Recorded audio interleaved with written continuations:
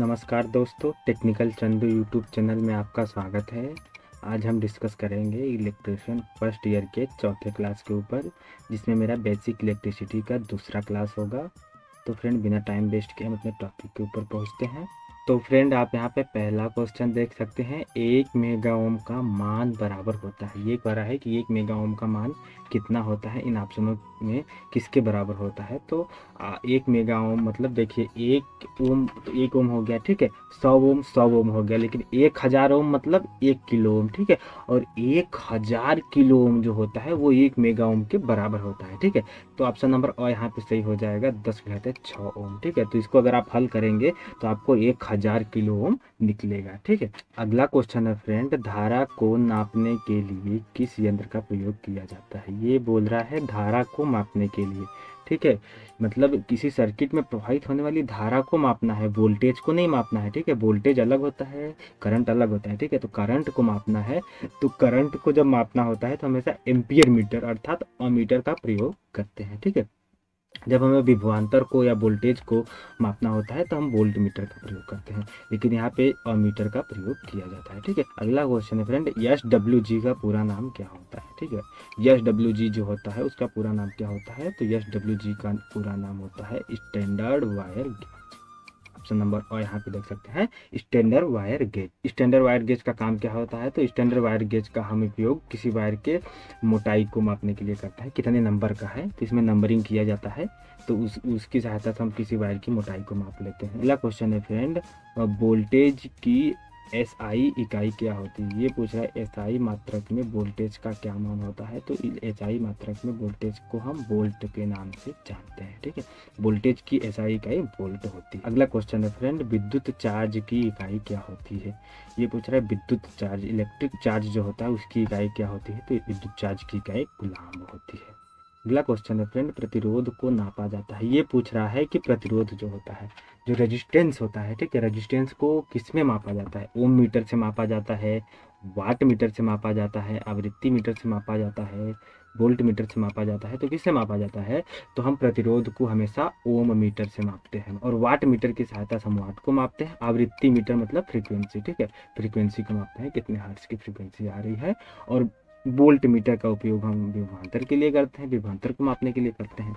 ठीक है तो हम बढ़ते हैं अगले क्वेश्चन के ऊपर फ्रेंड अगला क्वेश्चन है फ्रेंड विद्युत दाब को मापन यंत्र द्वारा मापा जाता है। देखिए, शुद्ध हिंदी में लिख दिया है, जो कि ये बोल रहा है कि विद्युत दाब को मापन यंत्र द्वारा मापा जाता है। ठीक है, विद्युत दाब मतलब विद्युत दाब देखिए, वोल्टेज जो होता है, वोल्टेज को हम क्या क्या बोलते हैं? ठीक है, वोल्टेज को वोल्टेज बोलते हैं विभुआंतर बोलते हैं ठीक है इलेक्ट्रोमोटिव फोर्स बोलते हैं, विद्युत ताप भी बोलते हैं ईएमएफ बोलते हैं, ठीक है तो कई सारे नामों से जाना जाता है। तो विद्युत दाब से आप ये समझिए वोल्टेज का मतलब ये होता है कि इलेक्ट्रॉनों को धक्का देने वाले यहाँ पे विद्युत दाब बोल रहा है तो मतलब वो दाब रहा है, उसको धक्का दे रहा है, उसके ऊपर प्रेशर दे रहा है, ठीक है इलेक्ट्रॉनों को प्रभावित होने के लिए। तो इससे अब आप प्रतीत कर सकते हैं, अपने आप को समझ सकते हैं कि विद्युत दाब का मतलब वोल्टेज बोल रहा है, ठीक है।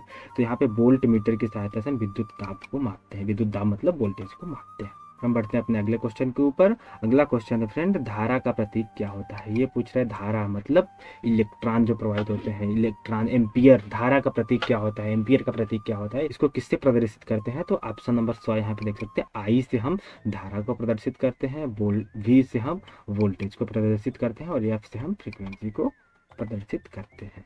ठीक है फ्रेंड हम बढ़ते हैं अपने अगले क्वेश्चन के ऊपर। अगला क्वेश्चन है फ्रेंड इलेक्ट्रॉन का चार्ज कितना होता है? ये पूछ रहा है इलेक्ट्रॉन का जो होता है, वो चार्ज कितना होता है? इलेक्ट्रॉन का चार्ज है मतलब इलेक्ट्रॉन का पर चार्ज कितना होता है? तो इलेक्ट्रॉन पे माइनस वन पॉइंट सिक्स गुड़े दस के घाते माइनस उन्नीस जो होता है इलेक्ट्रॉन पे चार्ज होता है। और इसका ठीक विपरीत जो होता है वो प्रोटॉन पे चार्ज होता है। ठीक है फ्रेंड तो बढ़ते अपने अगले क्वेश्चन के ऊपर। अगला क्वेश्चन पूछ रहा है फ्रेंड कि इलेक्ट्रॉन का भार कितना होता है? सोचिए हमारे देश के वैज्ञानिक या कई देश के वैज्ञानिक चाहे जिस देश के वैज्ञानिक लोग कितने बुद्धिमान हो गए हैं कि एक इलेक्ट्रॉन का भार मतलब आप सोच नहीं सकते, अगर एक वायर आप कंडक्टर ले लेते हैं, एक छोटा सा वायर ले लेते हैं, उसमें लाखों करोड़ों इलेक्ट्रॉन होते हैं तो उन्होंने एक इलेक्ट्रॉन का भी भार पता कर लिया कि वो कितना होता है। देखिए जो एक इलेक्ट्रॉन का भार होता है, वो होता है नाइन पॉइंट वन गुड़े दस घाते माइनस इकतीस के जी होता है, ठीक है? एक इलेक्ट्रॉन का भार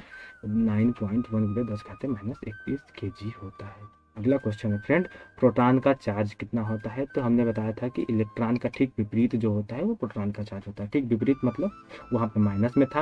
आप यहाँ पे देखिए इलेक्ट्रॉन का चार्ज जो होता है यहाँ पे देखिए इलेक्ट्रॉन का चार्ज माइनस में था। और यहाँ पे प्रोटॉन का चार्ज देखिए प्लस वन पॉइंट सिक्स गुड़े दस घाते माइनस उन्नीस। गुलाम। अब यहाँ पे पूछ रहा है प्रोटॉन का भार कितना होता है? तो हम आपको बता दें प्रोटॉन का भार जो होता है एक दशमलव छः सात गुड़े दस के घाते माइनस सत्ताईस किलोग्राम होता है। हम बढ़ते अपने अगले क्वेश्चन के ऊपर। अगला क्वेश्चन है फ्रेंड न्यूट्रॉन का भार कितना होता है? ये पूछ रहा है कि न्यूट्रॉन जो होता है, उसका भार कितना होता है? यहाँ पे मेरे कुछ ऑप्शंस जो है कि वो कट गए हैं, जो ऑप्शन मेरा सही था, वही वाला कट चुका है इसमें। हम आपको बता दें फ्रेंड इसका जो ऑप्शन होगा, इसका आंसर जो होगा, वो होगा one point six seven five गुड़े दस के घाते माइनस सत्ताईस किलोग्राम जो होता है कि न्यूट्रॉन का भार होता है। तो अगला क्वेश्चन है फ्रेंड न्यूट्रॉन का चार्ज होता है। ये पूछ रहा है, न्यूट्रॉन का चार्ज होता है धनात्मक में होता है, ऋणात्मक में होता है, कोई चार्ज नहीं होता है मल्टीपल होता है। मल्टीपल मतलब धनात्मक ऋणात्मक दोनों। तो यहाँ पे ऑप्शन नंबर सौ सही हो जाएगा। कोई चार्ज नहीं होता है, ठीक है? न्यूट्रॉन पर कोई चार्ज नहीं होता है। तो हम बढ़ते अपने को अगले क्वेश्चन के ऊपर। अगला क्वेश्चन है फ्रेंड प्रोटॉन का चार्ज होता है। ये पूछ रहा है प्रोटॉन का चार्ज कितना होता है? तो प्रोटॉन का चार्ज जो होता है, वो धनात्मक में होता है, ठीक है? और इसका ठीक विपरीत होता है, जो कि ऋणात्मक में इलेक्ट्रॉन का चार्ज होता है। अगला क्वेश्चन है फ्रेंड गीले मनुष्य के शरीर का प्रतिरोध कितना होता है?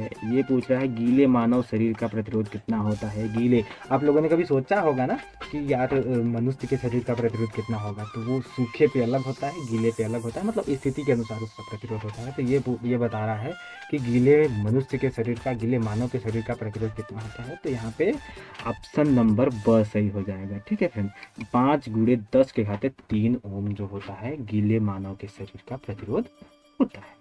हम बढ़ते हैं अपने अगले क्वेश्चन के ऊपर, जो कि अगला क्वेश्चन पूछा है कि एक किलो बोल्ट बराबर कितना होता है। ठीक है फ्रेंड एक किलो बोल्ट हमने रजिस्टेंस में आपको बताया था, एक रजिस्टेंस एक ओम का रजिस्टेंस एक रजिस्टेंस होता है, सौ ओम का रजिस्टेंस सौ ओम होता है। ठीक है, लेकिन अगर वही एक हज़ार ओम अगर रजिस्टेंस हो जाता है तो एक किलो उसको माना जाता है। तो इसी प्रकार से इसमें होता है, एक बोल्ट एक बोल्ट होता है, सौ बोल्ट सौ बोल्ट रहता है, पचास बोल्ट पचास बोल्ट होता है, लेकिन अगर वही एक हज़ार बोल्ट हो जाए तो उसको हम एक किलो बोल्ट बोलते हैं, ठीक है? तो यहाँ पे एक किलो बोल्ट बराबर होता है, एक हज़ार वोल्टेज तो हम अपने अगले और लास्ट क्वेश्चन के ऊपर पहुँचते हैं, जो कि ये बोल रहा है कि एक पीको फैराडे ठीक है? एक पीको फैराडे बराबर कितना होता है, ठीक है? एक पीको फैराडे बराबर कितना होता है तो एक पीको फैराडे बराबर जो होता है कि ऑप्शन नंबर दो यहाँ पे देख सकते हैं। दस के खाते माइनस बारह फेरेडे होता है, ठीक है? एक पिको फेरेडे बराबर दस के खाते माइनस बारह फेरेडे होता है। तो फ्रेंड अगर आपको वीडियो पसंद आया तो वीडियो को लाइक करें चैनल को सब्सक्राइब करें और वीडियो को शेयर करें, जिससे आपके फ्रेंड भी इस वीडियो को देख करके अपने इलेक्ट्रीशियन की फ़र्स्ट ईयर वाले इलेक्ट्रीशियन की तैयारी कर सके।